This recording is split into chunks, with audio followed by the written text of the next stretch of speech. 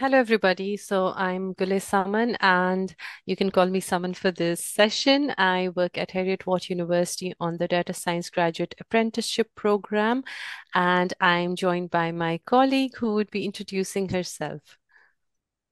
Hello, my name is Heba, and uh, yeah, Saman is the boss. We work together. Uh, we are we working on the data science graduate apprenticeship, and I'm really looking forward to the conversation that we'll have now. Uh, thank you, Heba. So, uh, like you guys know, we work on the graduate apprenticeship program, and I'm not sure if you guys are familiar with it, but we have like a diverse set of students on our program. Uh, some of the students are school leavers, some of the students have significant experience 15 to 20 years of experience um, in the roles that they are working in. Uh, so they're quite familiar with the organizational terrain and with the concepts that are used in their workplace.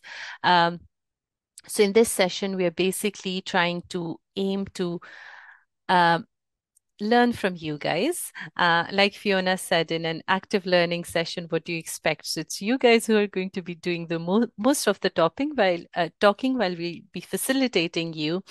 Uh, so we want to discuss some practical strategies in order to keep our students actively engaged throughout the learning and teaching process, regardless of their um, academic background. So like I said, some of them are school leavers, some of them have significant, uh, you know, uh, professional experience. Some of for some of our students, it's their second degree. Um, some uh, you know so it's like a dive some are very good at programming others are not so good so everybody has different skill sets and in order to keep our teaching uh, engaging for them relevant for them uh, it's quite a challenge for us so uh, but at the end of the day because you know the students are, are the center of our focus uh, we want to improve their overall student experience because they come to us to get some new skills, to learn some new skills, and we want to give them those um, uh, skills, right? Um, I would say that an analogy that you would have for a graduate apprentices is people who are returning to education. So, uh, you know, um, yeah, so um, we want to, and because we teach on the data science program, so it's very relevant to um, STEM teaching. Um, so we have got uh, uh, we have set up a Padlet for you guys um, where we have put in some questions um, uh, for you guys to contribute towards. So I, will just go over the questions that we have got, and then we can go over to the Padlet where you could contribute your um, responses. So the first theme that we have, or the first question that we have is how to ensure student engagement in such a setting. Also, I would like to point out that our students, um, we offer them the hybrid approach. So some of them attend in person, others join online. Um, and some might not be joining some sessions so they listen to the recordings that we have for our uh, for our lectures so I, I, guess i've given you enough of a background um, for the problem that we have here, uh, which is to come up with strategies for student success on our graduate apprenticeship program. Uh, so the first question is how to ensure student engagement. And then we also are interested in knowing how can we increase and maintain our student interaction in live sessions as well as you know those of us those that are joining us in online uh, generative AI is quite, quite in fashion these days, discussions around generative AI. So uh, just to consider whether we we consider generative AI as a friend or a foe in the learning and teaching process. And we're also interested in, you know, looking at techniques that would help us in maximizing our student learning. Uh, what would we consider as uh, good practice for academics and what would be the essence of good practice for academics? And last but not the least, how should we this the techniques, the methods, the strategy that we should um, you know keep in our bags uh, for maintaining our well-being and good health as well. Um, so would it be possible to um, so I, somehow I can't see my chat option. Uh, so if you guys could log into uh, the Padlet Uh, and the password that we have for our Padlet is ALN24. Um, if you could take five minutes, uh, sorry, seven about seven minutes to, you know, uh, write in your thoughts on the Padlet, that would be great. Thank you. Hi, can I just ask a couple of questions? Sure. Uh, firstly, sorry, uh, first thing about just about that um, task is that for all of the seven minutes to answer each of the questions or one of the Seven minutes for the whole thing. So any okay, cool. comments that you have, pop them in under the the relevant topic. Fine. Also, so it's a graduate apprenticeship program, so and it's hybrid. How many days per week is that for the students? One day a week. So oh. depending on the year they're in, either they're in on a Monday or a Friday. Okay. So they have like lectures from nine to five. Nine to five, like one day a week, nine to five, and they may or may not be in the same online. They may be online or they may be face to face. Yes. Um, what's the split? It varies from day to day. Uh, so uh, there are a lot of factors that contribute to that, weather being the first Okay. one. If it's a terrible weather, uh, you know, if it's a stormy day, they wouldn't uh, come in. Uh, but mostly, f it also depends on the batch that we have got. So those that started their program during the pandemic, they prefer, most of them prefer to stay online. So it would be like 80-20 split or sometimes 90-10 split. Uh, so 90% are online, 10% are in person. But those that started the degree program after, you know, uh, the restrictions were lifted, uh, it's it you could say it's a sometimes 60-40 split, sometimes a 50-50 split. So it depends. Okay. Thank you. Welcome.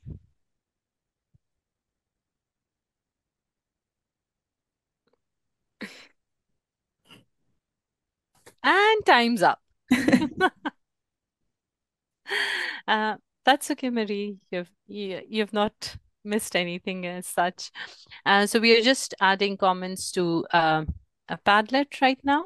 Uh, in fact, we have finished the comments, but if you want to access the Padlet, I've put the link in the chat and also the password in the chat so you can uh, access it.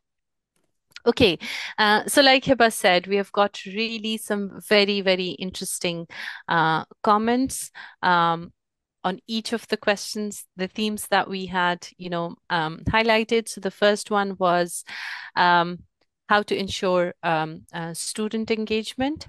Um, there are some, um, I mean, as I said, they're quite uh, interesting, uh, but a couple that I would like to, you know, the the very um, uh, the ones that are given at the start. So there's one which says uh, use real world examples. So uh, just to clarify things, we do try to use real world examples and ask students whether they have something, uh, whether they have done something relevant at work, uh, which is similar to what we are talking about. So uh, we we do that. Uh, but there's a comment which I, I I personally would like to explore is present results in class. Uh, I'm not sure what that means. What kind of results are we talking about? It's the very first one. That's me, actually. Yeah. Yeah. I, I, Hi. I, I probably lost some of the context of this. Um, I just uh, jumped in from a, me- a meeting, but I, I was I was involved with um, graduate um, NHS first year um, apprentices. Mhm. So the um, I think it's equivalent to a foundation level of a degree. I'm not Yeah. sure uh, what it is, but I, I found um, had to be really pragmatic uh, to be meaningful and uh, how it impacted something at work. Mhm. And then if you've got people to work on that in that in that particular time, Yeah. there's people under a lot of pressure anyway, so you get them to work on that and then present to each other. Mhm. That was um, yeah, one way of of of you know in all pragmatism, you know. Uh, um, the, the students were really engaged anyway. But the, Yeah. the main point was is is to make that strong link between between theory and practice and get people to work together on something they could identify with. There's always, there's always a background of um, whether something's available to work on at work mm-hmm. and, what, and what the implications of that are, and also the management implications of that. Yes. Because you've got to manage that in the background, and you've got overheads and uh, and continuity and availability of data and all sorts of things which get in the way. So, um, but but that that that link to practice and getting people to share share their uh, war wounds, as it were, you know, their you know their, their difficulties in mm-hmm. in the subject uh, uh, in practice was really value re- rewarding for them. So that was uh, that was an important point took away from that. Yeah. So I have a question for you. Were all your apprentices from NHS or were they coming from, did they come from different professional settings? Um, all NHS, but all from different parts of the NHS. Yeah. So diverse backgrounds in terms of their functions, yeah. which parts of the NHS were, were they were supporting. Um, yeah. Some had master's degrees, some didn't. Some had no degrees. Some uh, there's one person who's involved in research, mm-hmm. others involved in administration. Mm-hmm. So it's really they're all really different perspective on a complex organisation, and mm. the, the uniqueness of that was bringing people together. Yes.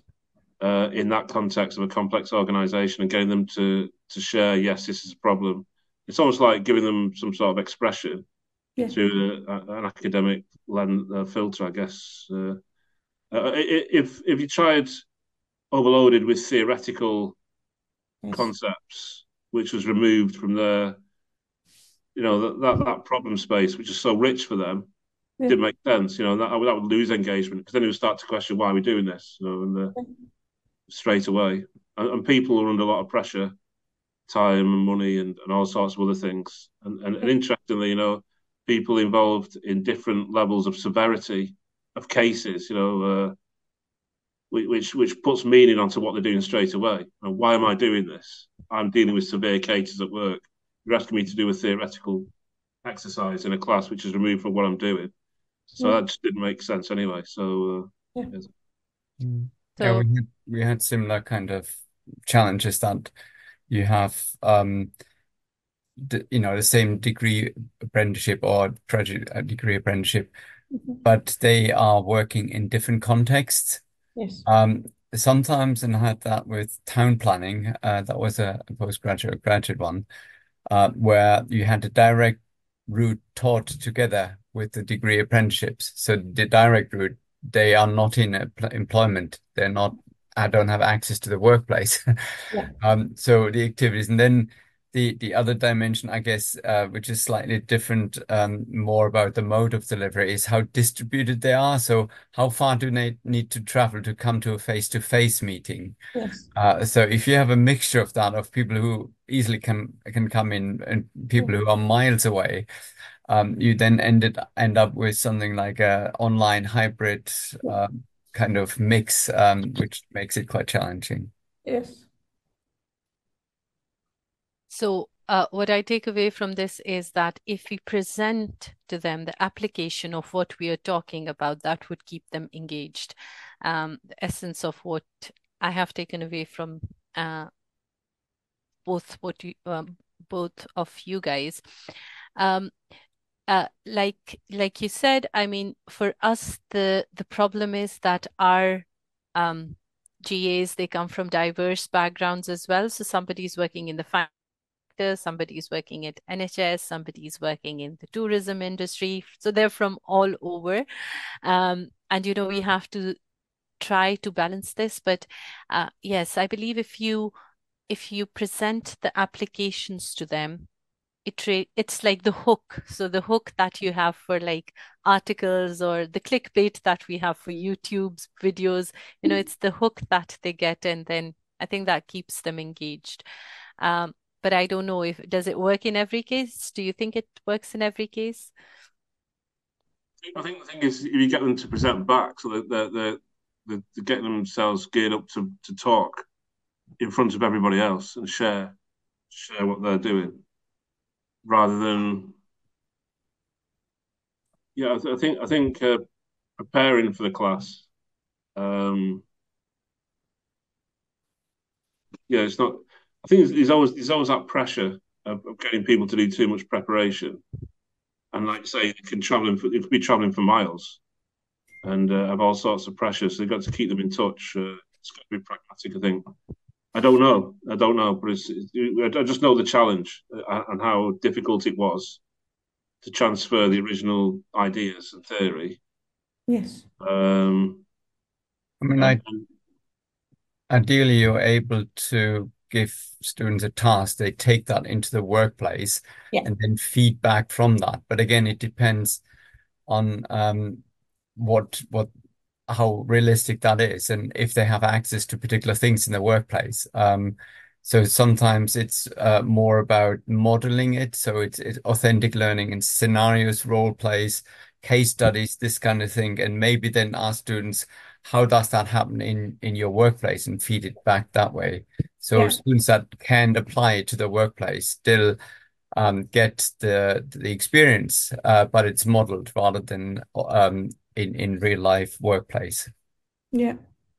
Yeah, and this opens also conversations with them to get to know each other and what different field they are coming from and how do they deal with the same problem but in a different scenario and so on.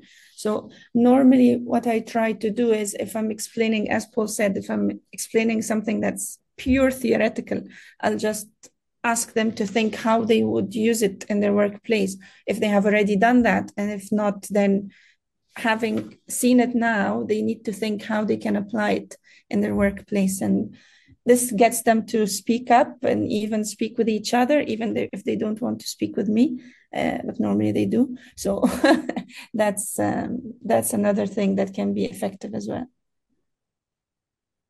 Yeah, peer learning, it really has an, I think sometimes they consider us maybe like, you know, they're all, they're talking all the time, but if their peer says something, Yeah. I think it's quite impactful and Yeah. and they learn quite a bit.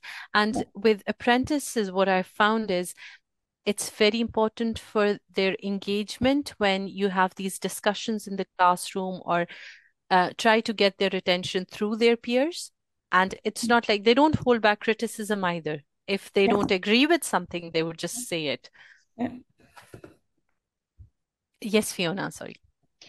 Yeah, I suppose just to come in on the back of that and to say, I think when people come from a variety of different backgrounds, that's obviously challenging. And I think um, one of the things that we need to do is we need to help people to see what relevance engaging with the other people and helping others to problem solve gives. So even if that particular scenario isn't absolutely in tune with their own work-based background, if they can understand the benefit that they'll get from helping someone else problem solve or engaging in that critical thinking, then there's something in there about relevance for their learning. Um, and, and I suppose it just adds to what you've what you've already said. It's not necessarily overcoming the challenge, but I think it's another lure, if you like, to help make the whole session feel or the whole content feel as relevant as it possibly can, Yes. despite the, the diversity that you've got across the, the cohort. Yes, exactly. Yeah, uh, rightly said. I mean, it's uh, although they come from different backgrounds, professional backgrounds, academic backgrounds, their experiences are very different.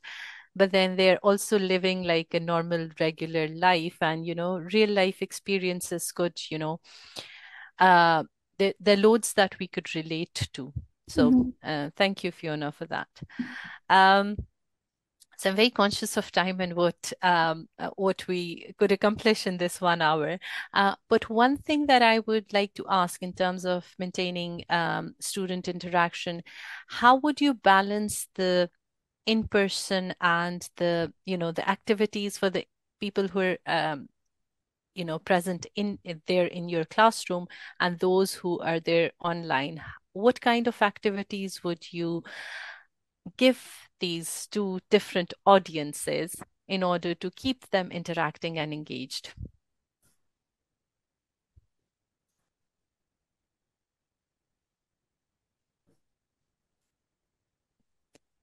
Is silence good here? Um, I think I think you could do presentations. Um, so you could present in the classroom, be videoed, or you could present at home. Yeah. Um, and you could get questions from the audience, I should imagine. Yeah. Okay, thank you. Um, uh, Ambrose or Cole, what should I? Okay. Yeah, I mean, I think in very in many ways it depends on your setup, on on how your room's set up, etc. I think if everyone's got laptops and everything, you can form groups where one person within that group is actually online and that sort of thing, and what sort of work through Teams in some ways. Yes. Yes. Um, in other situations, it makes more sense to have an online group and that sort of thing. Mm. So it really work, works if you actually think about it beforehand, uh, I think. Um, and I, I've, I've put down in there as well is, is having a second as well that makes sure that when there are discussions, the feed, etc., uh, are noticed and those questions come out from the from the sort of people who are online, etc. Yeah. Thank you. Um, Yeah, Fiona?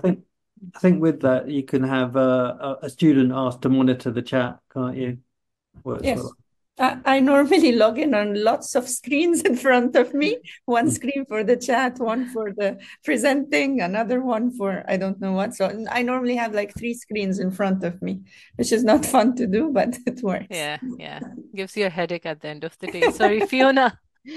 Yeah, I mean, I think I've just echo everything that, that's just been said there in terms of the, the design. For me, this is really, really crucial. Um, I don't believe that that these sessions can be done on the hoof. They need to be really well thought through and really well planned for all the, the reasons there that you just said about understanding the environment Yeah. and thinking about whether you've got a Mm. group online.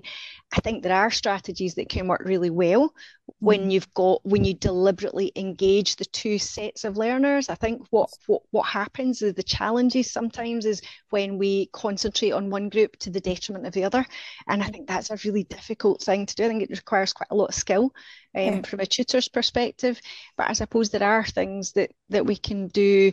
Um, just following up from that idea of perhaps, you know, for example, having the online group, having the on-campus group, you know, I mean, the, things like having your, your little roundtable discussion where you've got everyone competing um, in terms of giving questions, whether it's hands up or chat or whatever.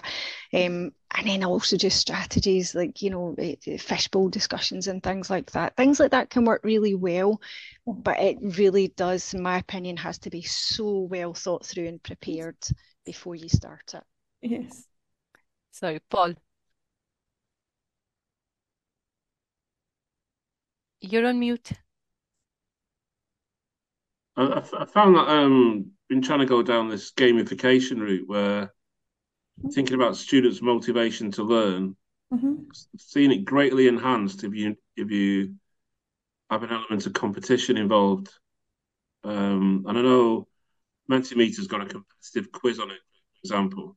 Yeah. If you have, if you have some some element to the class where everyone competes in a quiz online or something like that, and the winner gets something, it, it does influence people's engagement through through so there's some emotional change Mhm. yeah, that that gets channeled into more learning, and then so so if you work on a strategy of competition, Mhm. um, competitive quizzes, or some some element of one group work groups working against each other.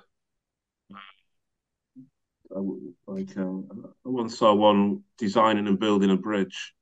Mhm. you could get that done first, I guess getting something done first, or Yeah. something like that. Um, fine. It just changes the motivation and changes the game somewhat, as it were. Yes.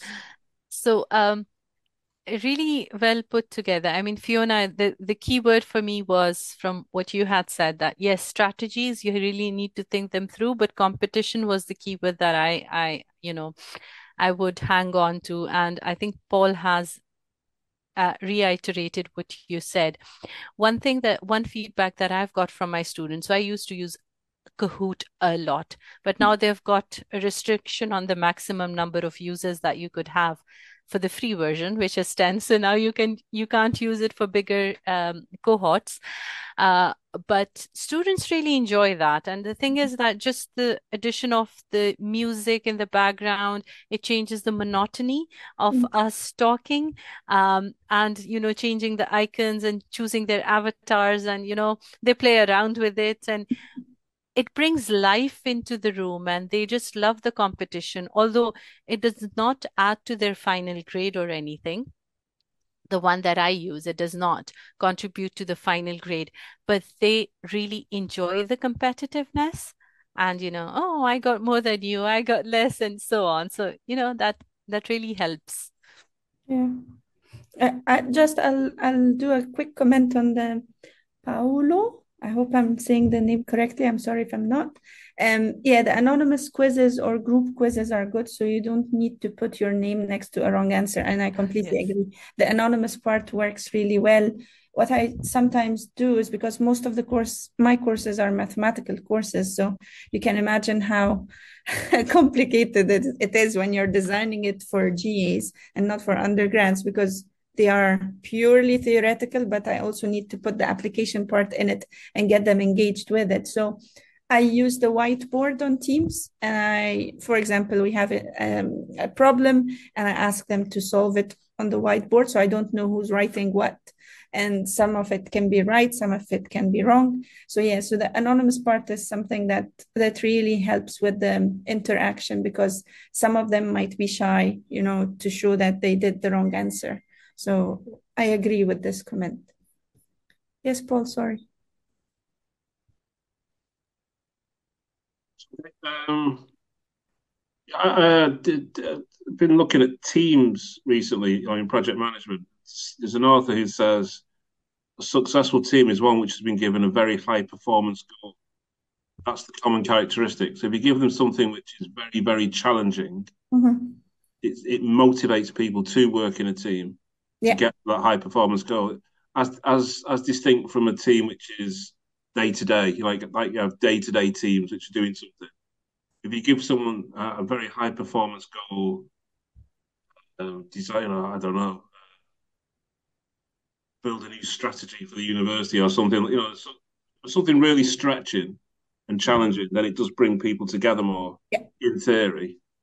And whether that does that in a teaching and learning environment, I don't know. But maybe it's another motivator is to is to have like a stretch task, perhaps. Um, it's just down to motivation again. Yeah, I, I I would think of it about inclusivity more. So like to put a problem where they feel that they are in charge rather than so I understand your point of a stretchy um point, but I I think if they feel and I'm talking here maybe the undergrads because the GAs are normally interactive if they are interested in the topic and they know what they're doing, but sometimes the the challenge would be in the for the undergrads because they are not sure about what they they need to know and what they don't. So yeah, so I think when you flip it around and ask them for them to be the lecturers and you're the student and they're explaining it to you, this can also uh, get them to be more interactive. Yeah.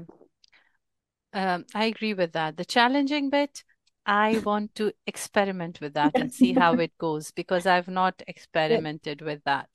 Uh, but I would like to experiment with that. Uh, so I think it's time that we move on to the next theme that we have. Do you consider generative AI a friend or foe? There are mixed feelings about it. Some people consider it a friend, others don't. Um, one, uh, so we had this enhancement, academic enhancement review workshop uh, a couple of weeks ago, and one of our colleagues, sadly, he is not with us anymore, uh, said that it just generates a soup of words for us. And the the way that we had opened that conversation was that if AI builds a bridge for us, would we be, willing to cross it or not? Uh, someone has already responded to that comment saying that why not? Um, uh, it can be a starting point. So I, I think you consider it a friend, but what are your thoughts as educators um, on this um, aspect of teaching and learning that has been introduced into the mix now? So I think some of it is kind of split between preventing abuse of it, um, so Mhm. cheating kind of thing, and equipping students with the skills to use AI uh, in their context uh, productively. Um, and that means that as a teacher, um, we need to be um, up to date on this. Uh, that's not, not easy. Students often are uh, kind of mile ahead. Yes. Uh, and then make it relevant to the particular um, employability uh, context they're coming from. Mm-hmm. Um, Ambrose? Yeah, I totally agree. It's there, it's not going away. Students are going to use it. And anything else, if we try and block it, it's just an arms race sort of thing, isn't it? So it's it's a, it, what we've got to do is is teach students how to use it effectively, how to understand its shortcomings, and and the biggest effect I think it's going to have is it's going to change how we do assessments. Yes. Um, and I think potentially in a positive way because it will mean we'll have to think about assessments that are really relevant to the skills we're trying to build in those students as we go along. So, yeah, I mean, I think that's a big question at the moment as to how we do that in a scalable manner that that that that, that will work. Yeah. Completely agree with that. So, in terms of assessments, that is going to be very challenging for us to design. Are there any thoughts on how could we assess students so that, you know, um, we can assess their learning rather than them producing an essay for us about the topic. How would you modify your assessments? I mean, I think one of the ways is that sort of almost micro assessments as you're going along. So it's developing. So you can see that progress of the student as you go through.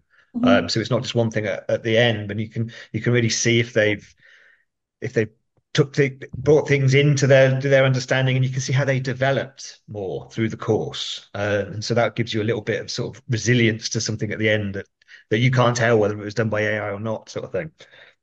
Yeah, I agree. So the kind of portfolio patchwork text type of assessment, but also um, assessment which are require individual responses. So going back to the authentic activity. So if they basically have to write something uh, respond to a task which they have to uh, check in their work context, mm-hmm. uh, then it's it's not generic. It, it's something that is specific to them and their work context. Um, thank Yes, you, Fiona? Fiona.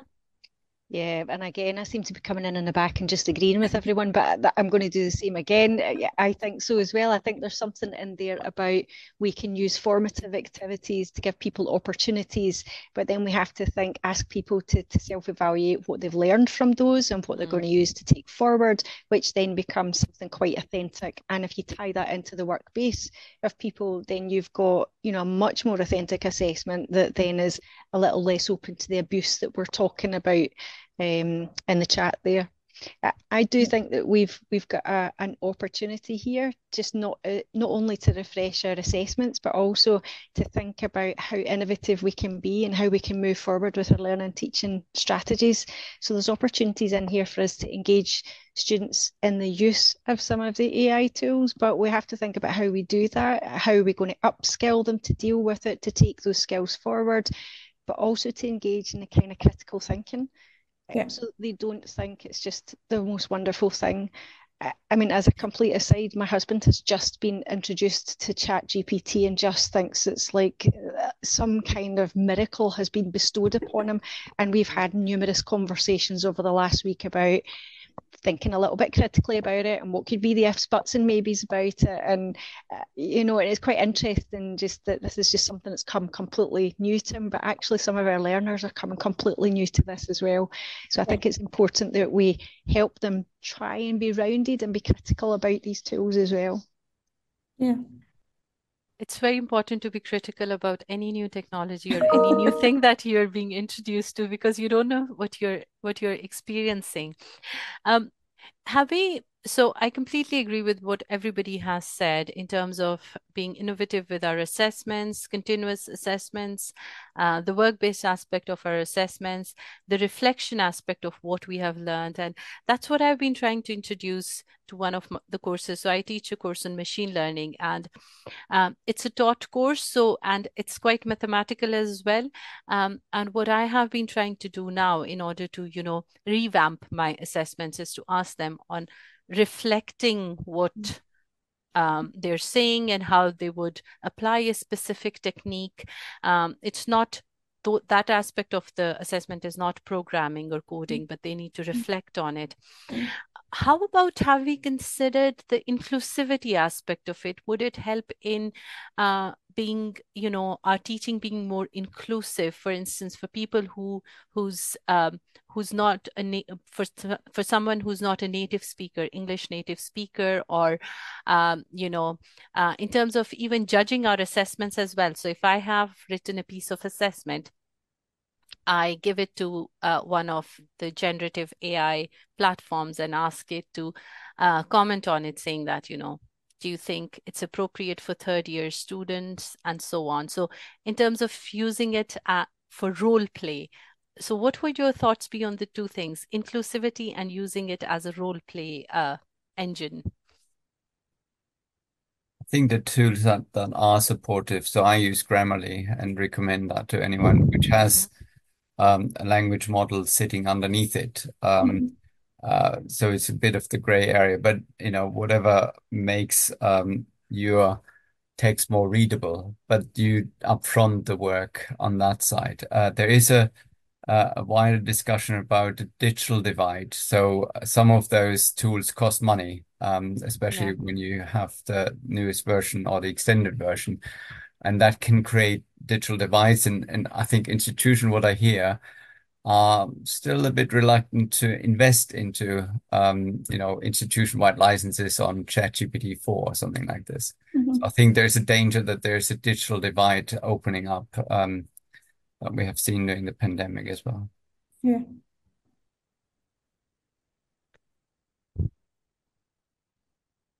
Any other comments? I thought uh, there would be lots of discussion around generative AI.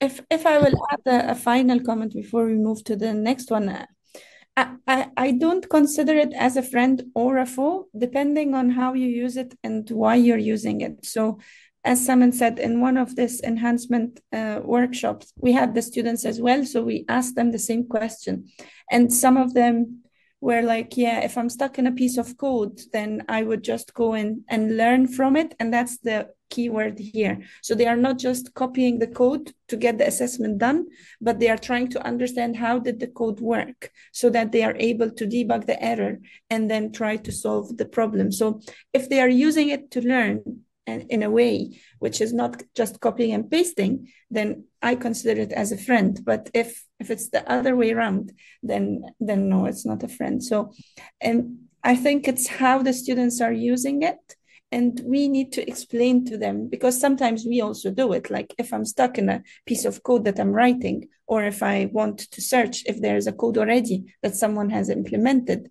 and I'm using it and I'm showing them that I'm using code and this is the source, then they they get the idea that okay, if she's doing it, then I'm allowed to do it.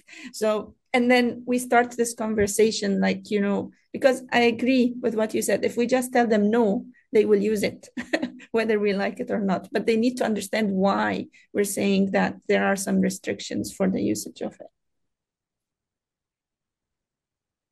Uh, thank you, Heba. So there's a comment about Ben uh, in the chat, uh, which talks about a decathlon. Uh, could you do you want to expand a little on that? I, I quite quite interesting how you um, use that for inclusivity. Um, yes. So can you hear my microphone now as well? Yes. Um, cool. So um, yes, we got now instead of getting to write a final essay at the end, they do um, like a short analysis of a scenario, and they might do a, a small quiz based on maths questions, mm-hmm. and we get them to do a, a, presentation to lead a journal club as well. Um, mm-hmm. amongst other, there's actually 18 little bits uh, that they do over uh, over a 12 week period mm-hmm. um, to to feed in, as opposed to completing a, a, whole essay at the end. Mm-hmm. Um, and so some of them really don't like public speaking. Um, and sometimes they don't actually even engage with that at all. Most of them now engage with it because they see it links to their assessment. Um, some of them perform significantly better in public speaking than they do in writing. Um, and so it's replaced their uh, written performance that they would have got in an exam or in an essay. And you can see we we do have some students that get you know F F A plus C or something like that across their different areas. Um, so we quite like it in the term that it actually helps where you've got um, students that are significantly better in, in one area than another. Uh, thank you. That's that's quite insightful. I mean, um, quite useful as well. Um, so something that I would like to point out. So the images that we have got in the Padlet uh, that you guys have been commented commenting on and they've all been generated using generative AI so you know it can be a friend and a foe considering the situation and the circumstances um, thank you so much for all your contributions on this um, so my very the last two questions that I have is can you identify the essence of good practice for you? So what is your absolute go-to thing in order to maintain student engagement and maximize student learning? Just a note, we got about eight minutes left. Yes. About. Yeah, so we have eight minutes. So if somebody would like to contribute to that. I popped something at the bottom, which was specifically about the apprenticeship sort of side, which was making sure that you embed all the elements of the apprenticeship within the course. I think we've made the mistake previously when we first started doing apprenticeships of putting it at the end, so all the information about gateway and these sort of things, and it it came as a surprise to the students to a large extent. So making sure that preparation is really sort of rolled into the whole course as it goes through. Yeah, we just went through that. Um, we were asked to create training plans which make very explicit how the learning outcomes match the KSBs, um, yeah. all basically all the way down to activities when yeah. you get to the delivery of it. Yeah. Okay, thank you, uh, Marie. Sorry, I just wanted to add something. Um, when it comes to maximizing student learning, mm -hmm. one thing I've learned is because most of apprenticeships they come from very diverse uh, uh, they have a, a, lot of diversity in them. And it's not just about the ethnicity language and all that. It's even their their part of experiences. So mm-hmm. i teach on a level seven and some of them have already uh, done mass uh, academic work at level seven. Others are coming from leadership and management position teaching position. Mm-hmm. so if they encouraging them to share the experiences and then linking the experiences to the content that you're teaching it uh, help them more it keep them more engaged and almost re- relate the content that you're teaching to their own experience and i found that work with the student and when they are writing the assessment you can find this reflected back mm-hmm. to the to what it was taught uh, through peer learning yeah. Mm-hmm. thank you you're welcome Thank you. So uh, one thing that I've started using uh, since last semester is to use reflective journals. So mm-hmm. whatever we learn, I ask them to put an entry for that topic. And previously, I would have class activities for them, uh, which sometimes they attempted other times they didn't. Now i have like a small portion so like 5% of the course mm-hmm. is based on the course mark is based on those activities. So they have to submit those activities to the reflective journal. So it's like um, a continu- continuous assessment but you know it's not like a big chunk of mm-hmm. of the grade. Um, um, so anybody else would like to contribute to the essence of good practice for them before we move on to the very last bit?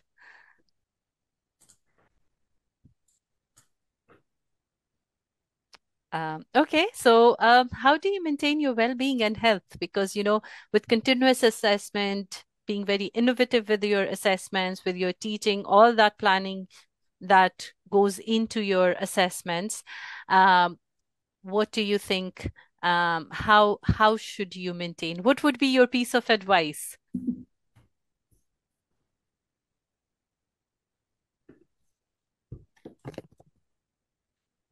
I like the comments on the on the Padlet already. Like keep things some somewhat simple. that's a, that's a good one. Making it achievable. Keep an hour on student load and hours. It's bad spelling on my part. I like no, it's fine. That's fine. And I, I like the give ground rules for feedback and check-ins. That's that's for me something that's that's clicked there because yeah, when you put the rules, when you set up the rules, it makes it makes things easier for everyone. I don't know if anyone wants to add anything else. Uh, would anybody like to add to that? No? Okay, that's great then. Sorry. Uh, minutes. yeah. Um, um, so, uh, yeah, um, so just wrapping up, I mean, I've thoroughly enjoyed the discussion. I think for discussions like these, one hour is not sufficient. So it's a good starting point. Uh, I hope we can build up on this and uh, work on it further. And perhaps we could come again and share our findings with you next time. Uh, but just as a bit of uh, a task that we have for you uh, is if you could add to the Padlet if you have any new thoughts, any new ideas that you that have come to your mind after the discussion that we have had today. Um, please do so. But if you're adding a new thought or a new comment, if you could just add after to the start of your comment so that we know that it has come about as a result of the discussion that we have had, that would be great. Uh, and thank you so much. If you want to get in touch about uh, our work um, with Heba and myself, uh, you're more than welcome to do so. But please try to add to the Padlet after and what your thoughts are after the discussion that we have had. Uh, thank you. Thank you so much.